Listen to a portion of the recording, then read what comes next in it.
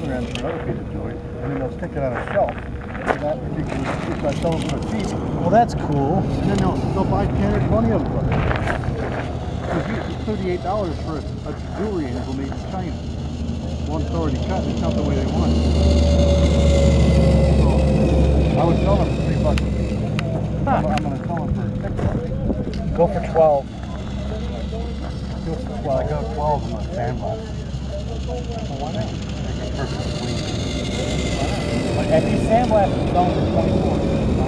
Black. Because what you can do is, is if you go high, you can always barter down. Oh yeah, a little wholesale. You know, well, you- well, if you if you if you go to the art, if you go to any of the art, for like an art gallery, or even here, start here. If you got a sandblast, you sandblast them to six inch thing, sell for twenty four dollars.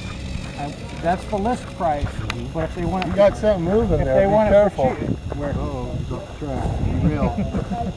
feel free to put them back on if you want. Be real, man.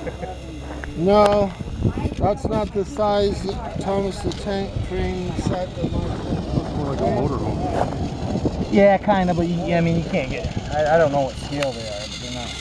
I know they're not HO scale. Let's see, he's kind of lifted up here.